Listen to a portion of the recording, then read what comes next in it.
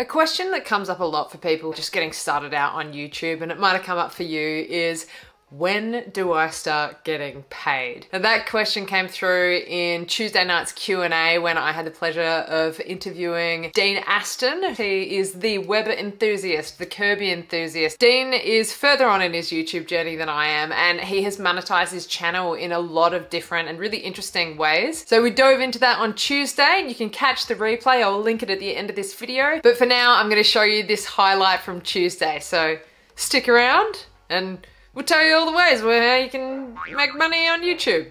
Awesome. YouTube will pay, I think it's around 70% of what they pay out. So the advert, the adverts but the use the uh, advertisers pay for, I think might be say say it's ten dollars, then you'll get seven dollars out of that. But that's per thousand views. So it's not a lot um, when you spread it over your channel. You've got to have more videos and you've got to have the views. I mean, my top video's got 32,000 views, and that was one of my first ones. And I'll watch it back and I cringe because there's a lot of ums and ahs in that. But what I found was as well, you can do affiliate marketing and you can earn a lot more from affiliate marketing even before you hit that thousand threshold. So you can do affiliate marketing with Amazon, you can do affiliate marketing with eBay, and you can put the links in. So whatever you're showing your video, and I always say that whatever's in my video, click the link in the description below for the best place to get your Weber products or your Kirby products. Your subscribers will go down there, they'll click the link, it doesn't cost them anymore. And Amazon, I think, is between 4 and 10% for every sale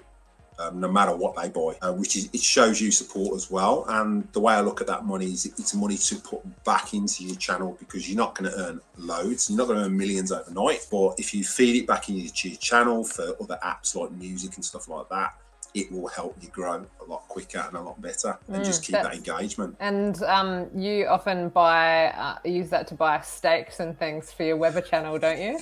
Yeah, um, with my Kirby channel and a lot of people that watch it, I mean, I've I get like 25,000 views a month on that. But a lot of people that watch that, I um, rebuilt Kirby's, sold by secondhand Kirby's, rebuild them, sell them on, and then I'll put that money back into my Weber channel to pay for the steaks and the food. So all the money I earn goes straight back into the YouTube channel at the end of the day. So I still have to work at the end of the day, but it, it's it is growing, and you've got to make the way I look at it, you've got to make evergreen content, and that video once it's up and it's loaded you're going to have people watch that for years to come. And I, have found that, that videos now, I get more sales off certain videos that I might have made two years ago because I've put those links in. So it's even if you're not monetized, it's worth sign up for those, affiliate programs and they do Amazon do go through your channel to make sure you're getting a certain amount of views. They'll either say yay or nay, and you have to get at least three sales within three months. So you have your channels are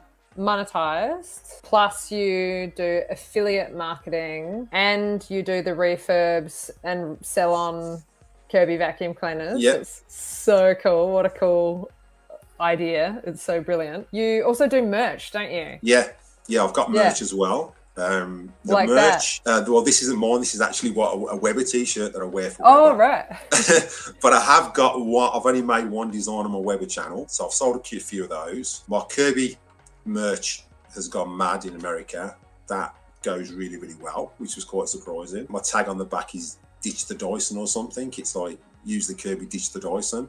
And that, that the sales on that is doing quite well. Your die-hard subscribers, they'll buy your merch. That they'll they'll go to your links and buy through Amazon to support your channel at the end of the day. And that's what you need is your die-hard fans. Speaking of die-hard fans, I've seen YouTubers use Buy Me a Coffee and Patreon. Have you thought of something like that for people who want to support you, Claire and Dean? I've looked at Patreon and YouTube do the same thing as well. I haven't signed up because my fear was it would push people away. I mean, it might not, but that was my fear was people are signing on and, and they're, they're subscribing and they're watching my videos you can make a lot more through Patreon. Um, I've got friends in the UK that use Patreon, and you know it, it is worth it in that respect because you can earn a lot more money from Patreon compared to what YouTube ads will pay you. But my biggest fear is people paying that monthly fee, and if you don't deliver that content that they're, they're wanting, they're going to cancel it straight away. And it, yeah. it's all about consistency and quality content. I know that Dylan, my brother, um,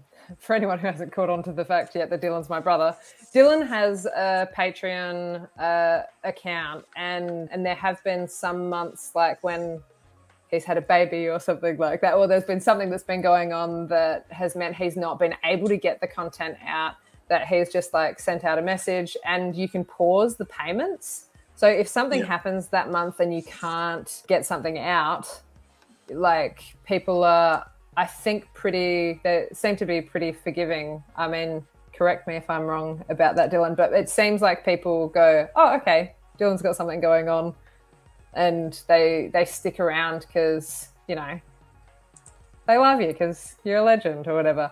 I was always nervous. I have been nervous about starting a Patreon myself because I'm like I'm already doing a lot of stuff, and I'm like to do something else feels a little bit stressful. Um, but I'm not. I'm definitely not closed off to the idea, and I do really like it. I do. I love I do have a buy me a coffee account. So if anyone would like to buy me a coffee, the link is in the description of this video. That link definitely is already there. I really like buy me a coffee because people have the option to just like give you a tip, like a one-off tip or whatever.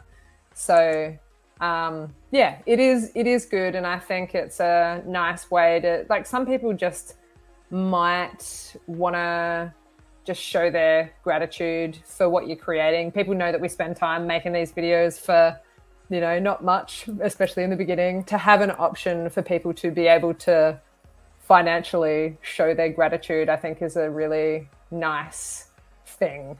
Um, so, yeah, I'm into it. I like it. And, you know, at the end of the day, people are not obliged to do it or not do it. Um, so yeah, it's it's cool. I think it's a cool thing to consider and look into, and yeah, it's nice.